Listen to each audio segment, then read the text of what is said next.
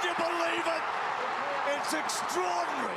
The Adelaide Crows are a big problem. They are, no question, one and two. And their scoring's a really interesting factor in this. It feels like they had a 2017 scoring structure where they scored out the back. Teams worked them out, and they haven't been able to fix it since, although, and the stats kind of speak to that. 108 points average in 17, 88 and 18, and again in decline in 19, down to 73 points a game.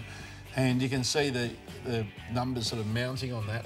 They've got to fix how they score, which it was only two years ago mm. we were saying one of the greatest forward lines ever mm. assembled. I want to ask you a question, Jody. You spoke about Damien Hardwick and how quickly the game can move on to something else. Do you think the Adelaide Crows have ever adjusted what they are looking to do? I think they're lacking leg speed, mm. particularly across the middle of the ground. And I think they have done for a while, particularly uh, some of the players they've lost. You look at Charlie Cameron and the impact he's had up in Brisbane. So I think they're still recovering from that. And then their tall forwards just don't seem to be really doing much damage this year so far. And Eddie Betts is a massive story.